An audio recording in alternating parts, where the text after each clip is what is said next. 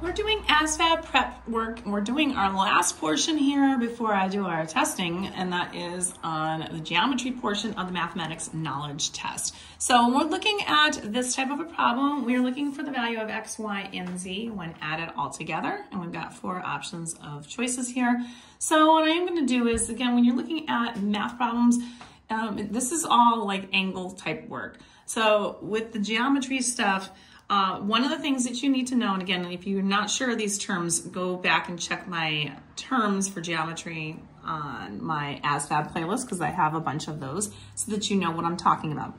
Now, we know this angle right here is a right angle, which means this is 90 degrees.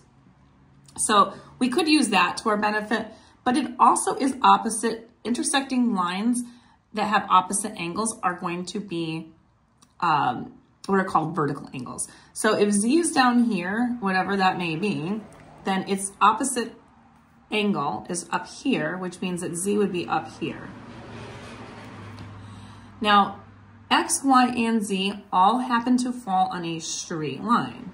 So this is a straight line, which means if I add all three of these angles up together, they will add up to a straight line measurement which is 180 degrees. So my answer for this would be that they would add up to 180 degrees. I don't know enough information other than saying that this is 90 degrees, but that's not what they're asking me. So they're just asking me what the total value is for X, Y, and Z. So when adding all those together, it is on a straight line, which forms a 180 degree angle or a straight angle. And if you want more questions like these, you can find them on my YouTube, Instagram, and TikTok at You Want Algebra.